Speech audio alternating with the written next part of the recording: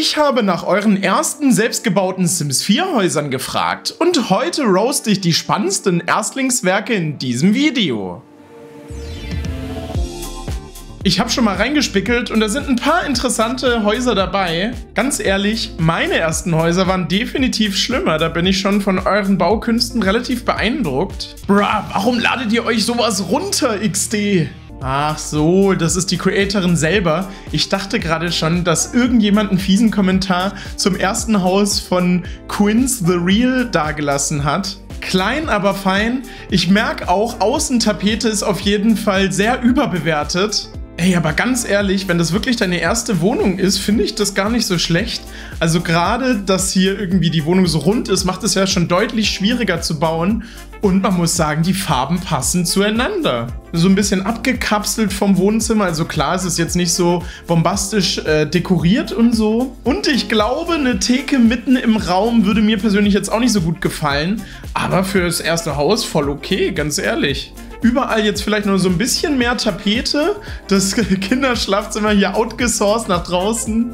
Also ganz ehrlich, wenn ich mich so zurückversetzt, hätte mich das, glaube ich, schon nachhaltig traumatisiert, wenn ich so weit weg von meinen Eltern in einem abgekapselten Bereich hätte schlafen müssen. Und der Fakt, dass wenn man nachts aufs Klo muss, man sich die Schuhe anziehen muss, kann ich jetzt auch nicht einfach so wegignorieren. Aber um zu einem Fazit zu kommen, meine Sims haben bestimmt schon mal schlechter gehaust. Dann haben wir hier das gemütliche Kämmerchen von Gilijo.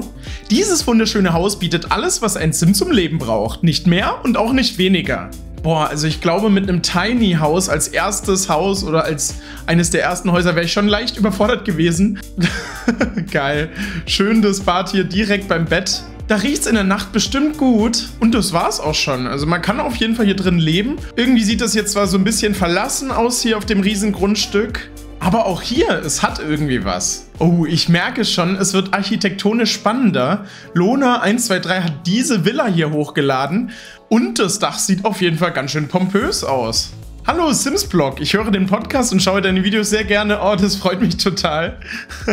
es sollte eine krasse Villa werden, aber naja, man sieht, was es geworden ist. Ganz ehrlich, so doof wie es klingt, ich mag dieses Haus irgendwie, weil es mir so leichte Nostalgie-Flashs gibt. Das ist ja so dieser klassische Anfängerfehler, dass man das Haus einfach unfassbar riesig baut. Und ich weiß noch, ich habe mit einer Freundin Sims 3 gespielt, die auch immer so auf diese Art und Weise ihre Häuser gebaut hat. Drin haben wir aber auf jeden Fall alles, was man braucht. Hier ein riesiger Tisch, da kann man direkt eine ganze Party feiern. Laut Beschreibung ein Haus für insgesamt sieben Sims, aber ich habe neun Betten gezählt. Jetzt musst du mir mal verraten, wofür waren denn die anderen beiden Betten? Gab es da vielleicht irgendwelche regelmäßigen Besuche von anderen Sims mit gewissen Aktivitäten? Und ich hoffe auch sehr doll, dass dieses Haus nach dem Update, wo man endlich die Betten den einzelnen Sims zuweisen konnte, entstanden ist. Weil sonst ist es beim nächtlichen Sims ins Bett bringen bestimmt ganz schön nervig geworden, wenn jeder plötzlich in einem anderen Bett schläft als normalerweise.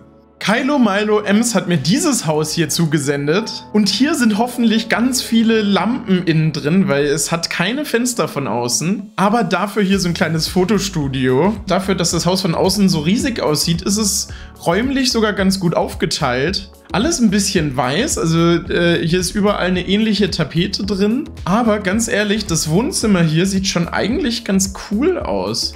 Das hier verstehe ich zwar nicht so ganz, aber ansonsten haben wir hier auch wieder äh, relativ viel Schlafzimmer schon im unteren Floor. Und hier war höchstwahrscheinlich dann das Sims-Budget zu Ende. Beim ersten Haus muss man ja auch immer sparen oder sonst notfalls nochmal ein Fenster verkaufen.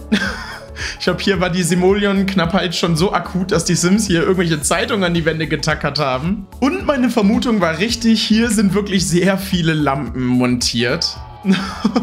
Benny Blitz ist hier aber sehr selbstkritisch. Ich kann halt nicht bauen und weiß nicht, ob man das als Haus bezeichnen kann. Vier Häuser zusammen für vier Freunde geeignet, aber nicht schön dekoriert. Ich finde die Idee mit diesen verschiedenen Gebäuden eigentlich ganz cool. Ich frage mich bloß gerade, woran es liegt, dass erste Häuser meistens immer quadratisch praktisch gut sind. Vielleicht kommt man ja mit den ganzen Bautools noch nicht so richtig zurecht und weiß gar nicht so genau, wie man jetzt äh, Häuser baut, die so ein bisschen um die Ecke gehen. Ein Wohnzimmer in Rot, eins in Braun und hier die etwas dunklere Variante in Pink. Ich verstehe zwar die Intention hinter dieser Theke nicht so ganz, die nicht zu den anderen passt, aber ganz ehrlich, wenn man hier noch so ein bisschen dekoriert, finde ich das auch gar nicht so schlecht fürs erste Haus. Auch wieder ein sehr geräumiges Schlafzimmer. Das zieht sich auch immer so ein bisschen durch, dass die Proportionen noch nicht so ganz stimmen. Und besonders ins Auge gesprungen ist mir noch das hier. Natürlich darf bei einem echten ersten Haus die Rakete im Vorgarten nicht fehlen. Ganz ehrlich, das sieht schon cool aus. Da haben die Sims bestimmt auch ordentlich für gespart. Oder Steuerungsschiff C hat hier netterweise unterstützt.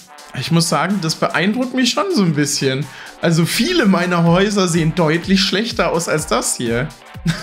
Auch beim morgendlichen Toilettengang wird man hier ein bisschen abgeschirmt von den fetten Büschen. Ein kleiner Forschungsraum hier, warum denn nicht? Boah, aber da ist auch ordentlich Platz für ganz schön viele Sims. Ich muss mal schauen, ob mein erstes Haus auch noch irgendwo auf meiner Festplatte rumfliegt. Vielen Dank an alle, die unter dem Hashtag ihre Häuser eingesendet haben. Das hat mich sehr gefreut, wie viele mitgemacht haben. Ich hoffe, ich war nicht zu fies zu euch. Jeder fängt mal klein an. Und dann würde ich sagen, man sieht sich bei einem der nächsten Videos hier auf simsblog.de wieder.